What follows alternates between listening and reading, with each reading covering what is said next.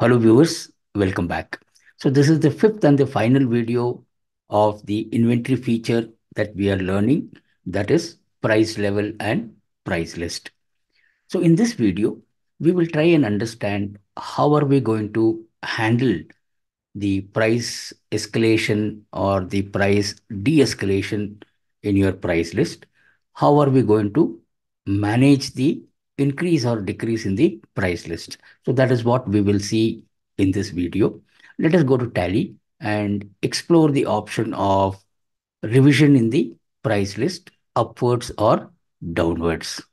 Let us learn now how to handle the revision in the price list, whether you want to revise the price list upward or downward. So for you to revise the price list, all you have to do is select alter from gateway of tally enter. Come down to price list stock group. Select price list stock group. If you recall in our previous video we had created two different price level that is distributor and dealer and we created the price list for each one of them. Now let us do the price revision for these items of the price list under the price level dealer and distributor. So how do we revise the price list? If you notice on the right hand side button bar you have this button called revise price. Click on revise price and now it is asking you select the stock group. So we had created price list for the items under computer accessories. So let us select computer accessories enter and we are seeing the list of our price levels. So first let us select distributor enter and this is very important now. Now you have to say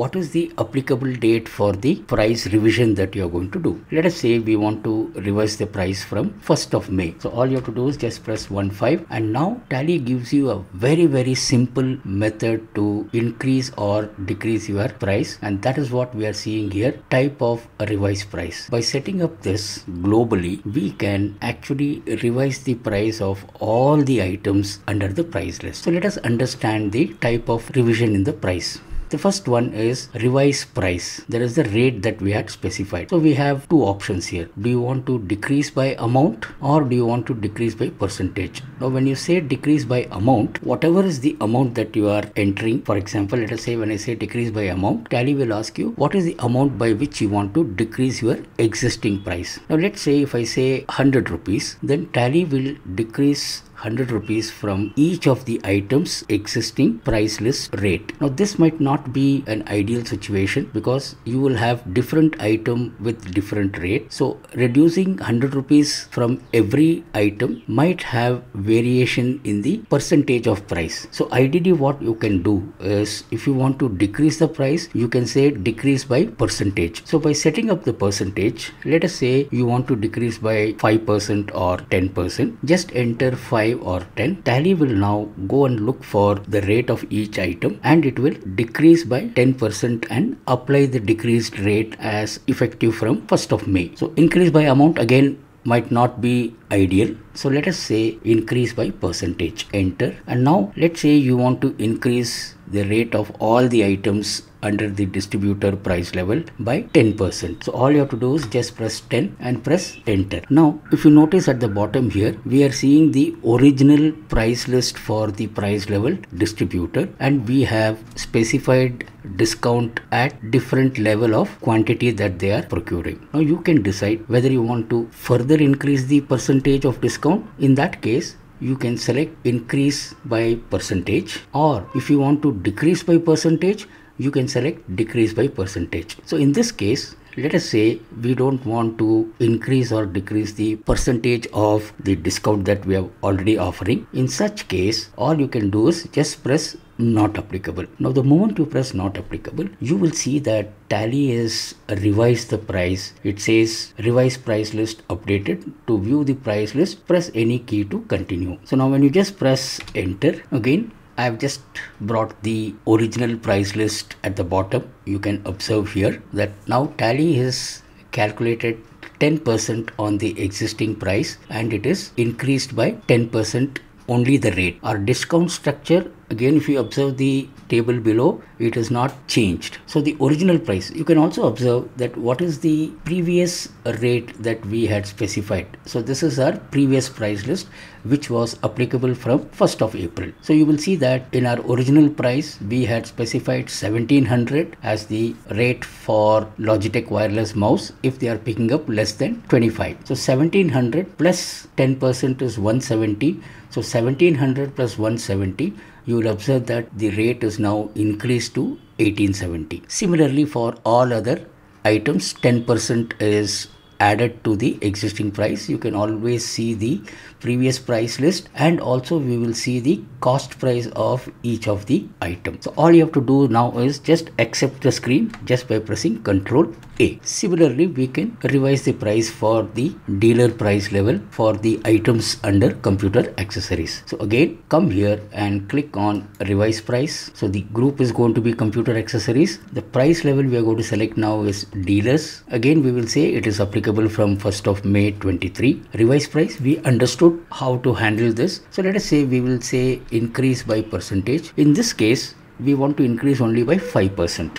Enter and again you don't want to disturb the discount structure. So select not applicable. Again Tally is updated the price level for the dealer. Press any key and you will now again observe that the previous price list which was applicable from 1st of April is also getting listed here. Your cost price is also getting listed here. And in this case, we said 5% of the existing price you want to revise upwards. So the original price list as on 1st of April was 2000. 5% on 2000 is 100 rupees and you will observe here that 2000 plus 100 2100 is increased in the rate of the item. Similarly, all the other rates also have increased based on the 5% increase that we had specified. And observe that the discount structure is remaining unchanged. Now we are ready with our revised price list. So again, just press Ctrl A to accept the screen. And now let us do one sales invoice and see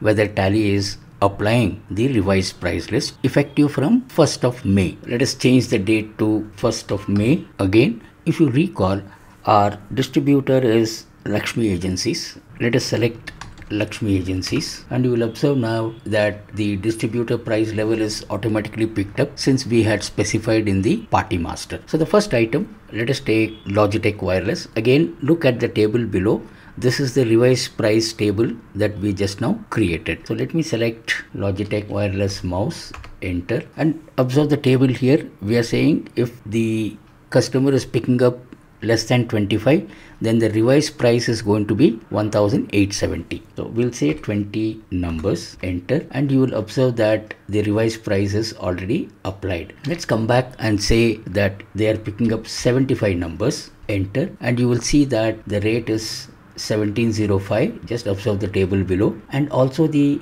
5% discount is applied and the net amount is calculated here. So this way tally will automatically pick up the rate from the revised price list based on the effective date. Now let us say for some reason you are going to invoice the customer prior to 1st of May. Let's see what happens. Let me just change the date as 30th of April, enter. The moment we change the date prior to the revised rate, you will observe that the rate tally is picked up is from the first price list. So again, observe the table here. This is the table where we had set up the original price list, which was effective from 1st of April. So the amount is beyond 50, the rate is 1550 and discount of 5% is automatically captured. So this way, based on the effective date, Tally will apply the rate that you are specifying in the respective price levels of the price list. If you have understood the concept of this price list, actually you can start leveraging the price list to offer any special discount or any special scheme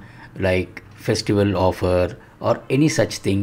Use the price list apply the price list for the specified period and later on you can remove the price list which we saw in our second video that how you can delete a price level not the price list so you can delete the price level and continue with your existing price level. So the flexibility of you creating any price level, specifying any price list for those levels, and also you have the facility for revising the price list upwards or downwards.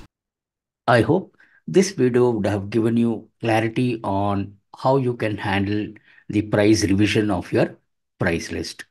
So in the upcoming videos, I will start with yet another feature of Tally and we will walk through that feature in multiple parts. So thank you all once again for staying till the end. See you all in the next session. Thank you very much.